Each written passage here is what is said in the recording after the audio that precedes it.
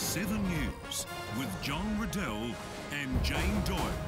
The Royal Adelaide show is always a great day out for the family, but Jane, I see there's something new. Certainly is, John. This year it's even better with the 7 News Experience set, recording Adelaide's hidden newsreader talent. Let's cross now to our latest amateur correspondent.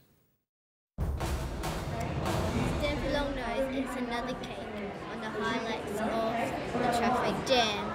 It's a very awful tragic, but can you make it through?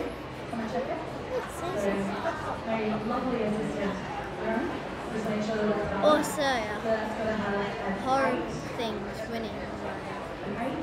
We have murder again. Another murder.